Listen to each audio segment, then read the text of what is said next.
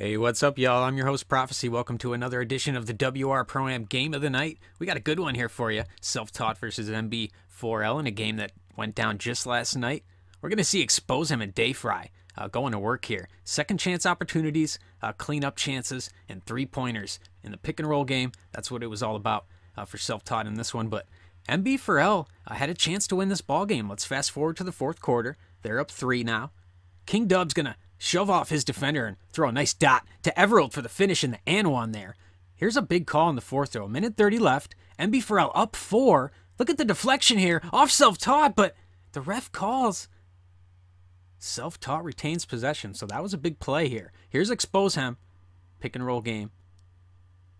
Finds his area around the elbow and knocks it down. Pulls self-taught to within two here. Minute left. MB4L. Trying to get a stop. But a big offensive rebound there by Dayfry kicks it back out to expose him, hits the big three to pull him within one. 40 seconds left now in this ball game. A big vicious jam inside there by King Dub, who was great down the stretch. 70 67, exciting finish. There's a great dime inside to pull him back within one. So, ensuing possession here. Up one here, looking to close this game out. Look at the big play, almost goes back court, but a timeout saves the day there. You can't let those situations happen. And another miscue as they take a shot with no shot clock. Could have had a free throw game, and they give up the easy bunny of a midi to blow the lead. 2.2 seconds left.